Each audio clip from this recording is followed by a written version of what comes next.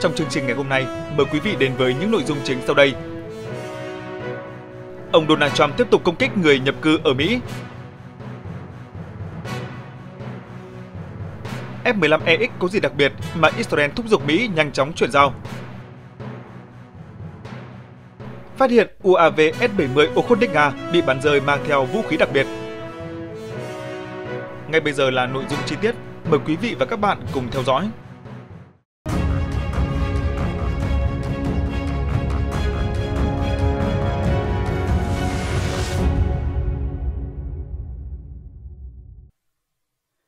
Trong sự kiện vận động tranh cử tại một sân bay ở thành phố Juneau, bang Wisconsin, ứng viên Đảng Cộng hòa ông Donald Trump đã tuyên bố sẽ áp thuế lên tới 200% đối với ô tô nhập khẩu từ Mexico nếu ông giành chiến thắng trong cuộc đua vào Nhà Trắng.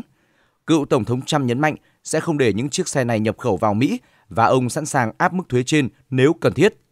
Trước đó, trong quá trình vận động tranh cử, ông Trump từng khẳng định sẽ áp thuế 100% đối với xe ô tô và xe tải nhập khẩu nhằm hỗ trợ công nghiệp xe hơi trong nước. Có thể khẳng định việc siết chặt chính sách với hàng hóa từ bên ngoài nước Mỹ và vấn đề người nhập cư đã trở thành thương hiệu của ông Donald Trump mỗi mùa bầu cử mà ông tham gia. Mới đây nhất, đài CNN đưa tin ông Trump bị cho là đã đưa ra thông tin gây hiểu lầm về tình hình nhập cư và tội phạm nhằm công kích Phó Tổng thống Kamala Harris. Cụ thể, ông Trump nói bà Harris cho phép mọi người đi qua biên giới mở, trong đó có 13.000 người là những kẻ sát nhân. Nói trong buổi phỏng vấn ở chương trình phát thanh The Hugh Hewitt Show, ông Donald Trump khẳng định, bạn biết đấy, với một kẻ sát nhân, tôi tin điều này nằm trong gen của họ. Chúng ta đang có rất nhiều gen xấu xuất hiện trong đất nước vào lúc này. Đây tiếp tục là đòn công kích của ứng viên Tổng thống Đảng Cộng Hòa nhằm vào người nhập cư trái phép và ông cam kết sẽ trục xuất hàng loạt nếu đắc cử. Ông Trump đã đưa việc hạn chế nhập cư bất hợp pháp trở thành một phần trọng tâm trong thông điệp chiến dịch năm 2024. Dù chính sách chống nhập cư của ông Trump cũng nhận được sự ủng hộ nhất định, nhưng nhiều chuyên gia cho rằng tiến hành một cuộc chiến như vậy trong bối cảnh hiện nay sẽ gây hại cho nền kinh tế Hoa Kỳ. Theo đó, chuyên gia Scott thuộc tổ chức FWD.US cho biết người nhập cư được coi là xương sống của ngành lao động Mỹ. Phân tích của FWD.US cho thấy rằng việc nâng mức nhập cư lên 50% hàng năm sẽ làm tăng dân số trong độ tuổi lao động của Mỹ lên khoảng 13% vào năm 2040, đồng thời mở rộng hơn nữa nền kinh tế Mỹ.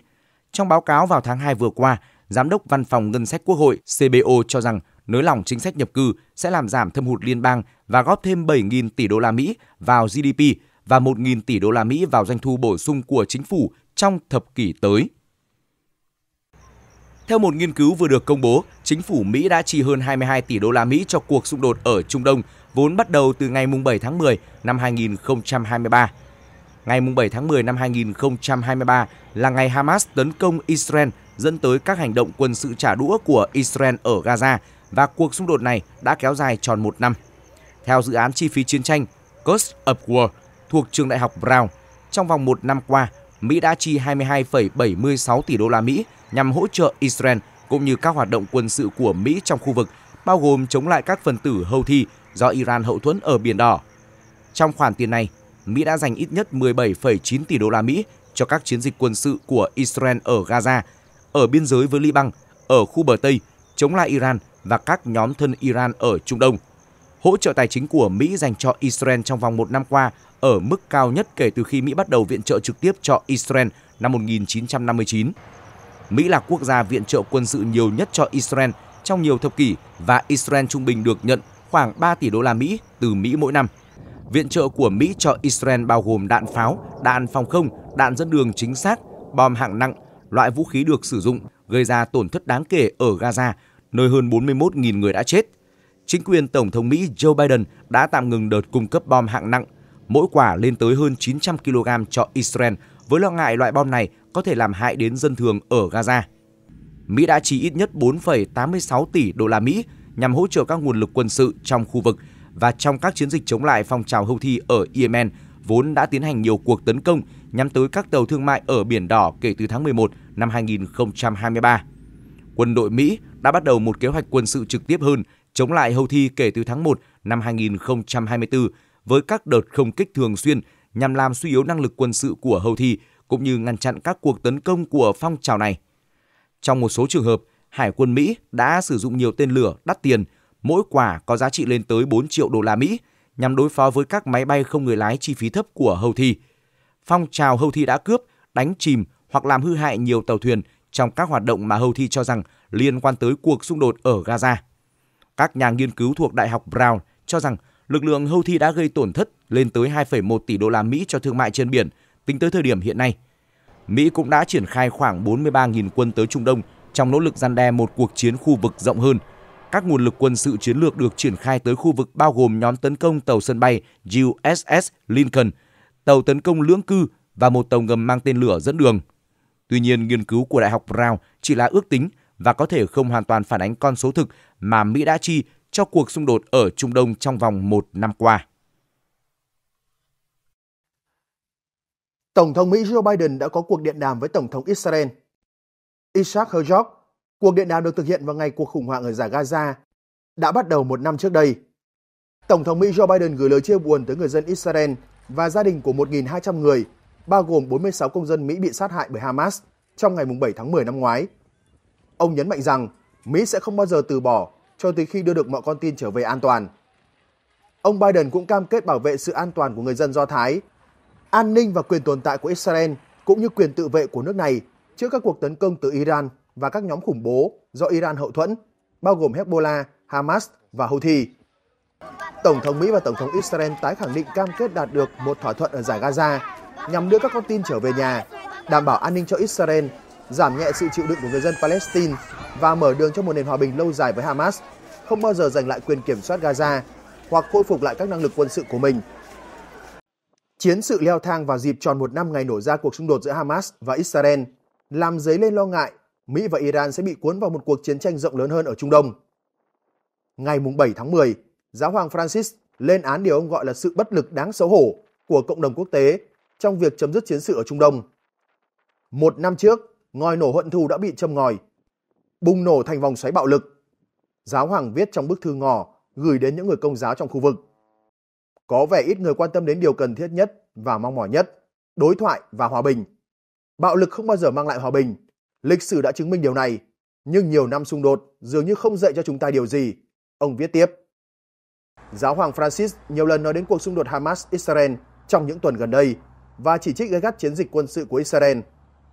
Ngày 29 tháng 9, vị giáo hoàng 87 tuổi chỉ trích các cuộc không kích của Israel vào Liban, khiến lãnh đạo Hezbollah, ông Sayed Hassan Nasrallah thiệt mạng cùng với những người khác. Giáo hoàng gọi đây là hành động vượt quá giới hạn đạo đức. Trước đó, giáo hoàng nói rằng những hành động của Israel ở Liban là không thể chấp nhận được, đồng thời kêu gọi cộng đồng quốc tế làm mọi cách có thể để ngăn chặn chiến tranh. Trong bức thư ngày 7 tháng 10, giáo hoàng nhắn nhủ trực tiếp đến người dân ở giải Gaza. Tôi ở bên các bạn, những người dân Gaza, những người đã phải chiến đấu lâu dài trong tình trạng khốn cùng. Các bạn luôn ở trong suy nghĩ và lời cầu nguyện của tôi hàng ngày, ông viết.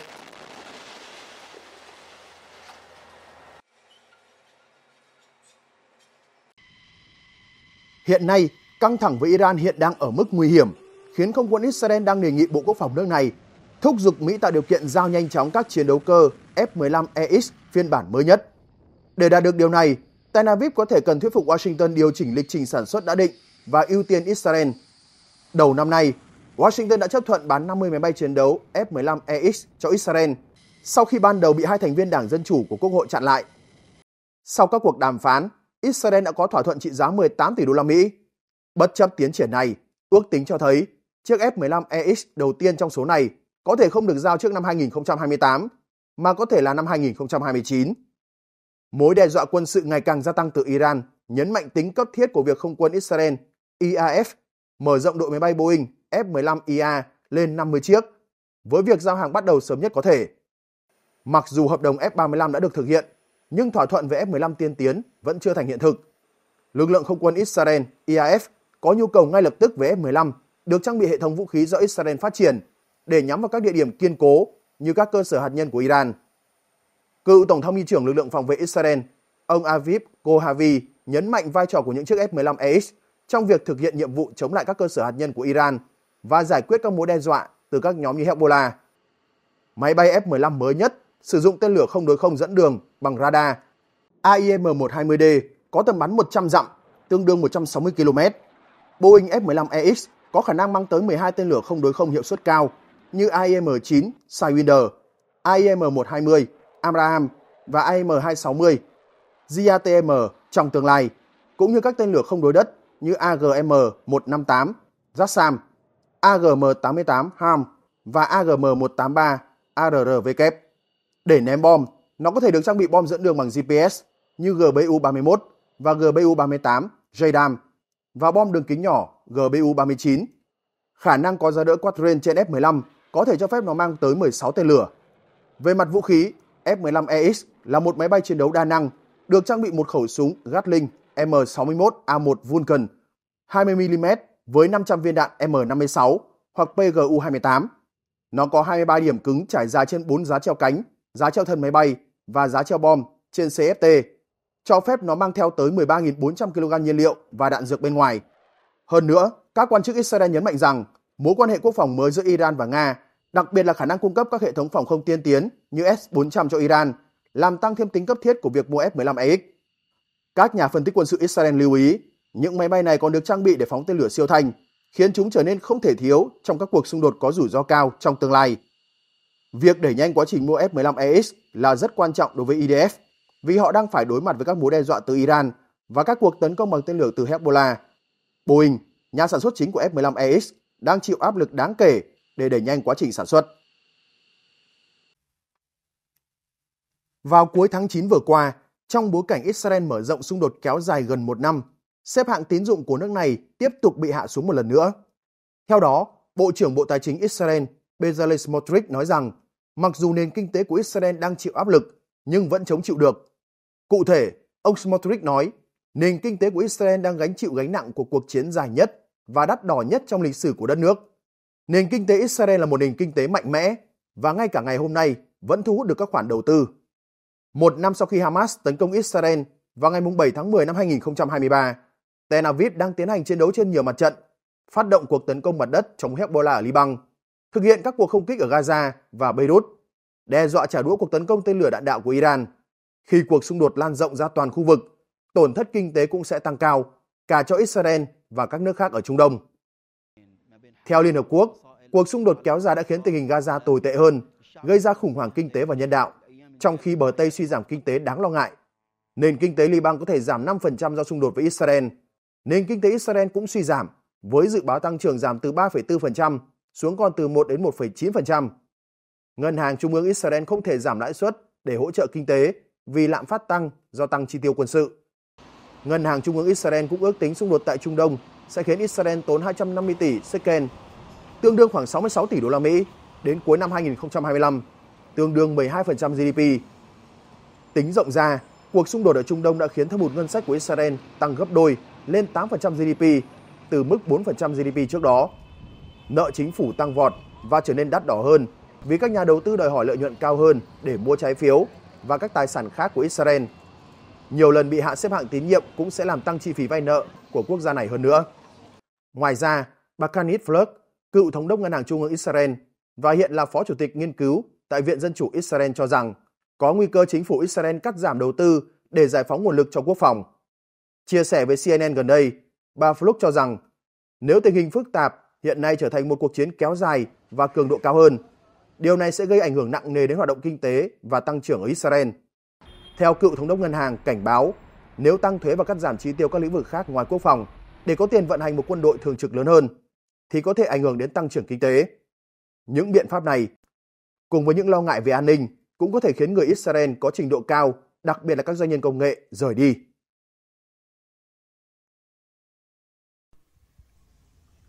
Theo Warzone cho biết, một sự cố hy hữu đã xảy ra khi bộ đôi tiêm kích tàng hình Su-57 và máy bay tàng hình không người lái UAV S-70 Okhotnik thuộc không quân Nga hoạt động trên không phận Ukraine vào cuối tuần vừa qua. Vụ việc này nghiêm trọng đến mức Su-57 phải sử dụng tên lửa không đối không bắn hạ đồng đội của mình. Bức ảnh những gì còn lại của chiếc UAV tàng hình S-70 Okhotnik bị bắn rơi ở Ukraine đã được công bố rộng rãi trên các phương tiện truyền thông và cho thấy một loại vũ khí mới. Cụ thể, các chuyên gia quân sự đã nhận ra phần còn lại của quả bom UMPBD30 phiên bản cải tiến được tìm thấy tại hiện trường vụ rơi máy bay không người lái tấn công tàng hình tối tân nhất của Nga. Đây là loại bom lượn lắp mô đun đẩy của Nga được phát triển trên cơ sở bom hàng không FAB-250. nặng 250 kg, tích hợp hệ thống dẫn đường phối hợp vệ tinh. Theo một số dữ liệu, phạm vi bay tối đa của nó có thể từ 50 đến 90 km. Theo trang thông tin từ dự án Osin Khyber Borosno, máy bay không người lái S-70 Okhotnik đã rơi tại địa điểm cách tiền tuyến 15 đến 20 km, tại thị trấn Kostiantinovka thuộc khu vực Kramatorsk. Nhiều khả năng chiếc UAV nói trên đi được khoảng cách xa như vậy là do bị mất kiểm soát. Sau đó nó bị máy bay chiến đấu Nga bắn hạ nhằm tránh để lọt bí mật quân sự vào tay lực lượng vũ trang Ukraine. Đây là lần đầu xuất hiện bằng chứng cho thấy UAV tàng hình Nga đang được triển khai ở Ukraine. Thậm chí có nhiều thông tin cho thấy UAV này khi gặp sự cố có mang theo vũ khí. Đề án phát triển UAV hỗ trợ S-70 Okhotnik của tập đoàn Sukhoi được cho là bắt đầu từ năm 2011. Nguyên mẫu máy bay thực hiện chuyến bay đầu tiên ngày 3 tháng 8 năm 2019. S-70 được chế tạo bằng vật liệu composite chuyên dụng, có thể giống với loại dùng để chế tạo Su-57. Mỗi chiếc có chiều dài 14 m và sải cánh 20 m, khối lượng gần 20 tấn, gần gấp đôi tiêm kích MiG-29 hoặc F-16, cũng như gấp 4 lần các loại UAV tương tự như X-47B Mỹ. Nga từng cho Okhotnik thử nghiệm bắn đạn thật, gồm thả bom thông thường vào tháng 1 năm 2021 và phóng tên lửa dẫn đường tầm xa vào tháng 5 năm 2022. Okhotnik được thiết kế để hoạt động cùng tiêm kích tàng hình Su-57, thay thế máy bay có người lái trong những nhiệm vụ nguy hiểm. Okhotnik lần đầu bay cùng Su-57 trong thử nghiệm kéo dài 30 phút hồi tháng 9 năm 2019, trong đó hai phi cơ bay theo biên đội với giãn cách vài mét. Căn cứ chính của S-70 được đặt tại Aktubinsk. Đây là cơ sở thử nghiệm máy bay phản lực chiến thuật quan trọng của Nga và từng hứng chịu các cuộc tấn công bằng máy bay không người lái của Ukraine. Các bức ảnh vệ tinh vào cuối tháng 9 vẫn cho thấy S-70 hoạt động tại Aktubinsk.